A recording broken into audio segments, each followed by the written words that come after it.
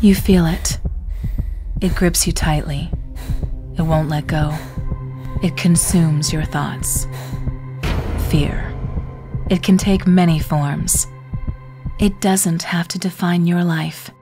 There is hope beyond fear. There is an answer. Jesus, who died for your wrongdoings and rose from the dead, can dissolve your fear, bring light to the darkness, and give you peace. With His truth and an ongoing trust in Him, He will guide you through your fears and anxieties. Would you like to begin a relationship with Him? Jesus, I need you. I welcome you into my life. Thank you for sacrificing yourself on the cross for me, giving me eternal life. Please forgive my wrongdoings and help me to let go of my fear and to trust in you.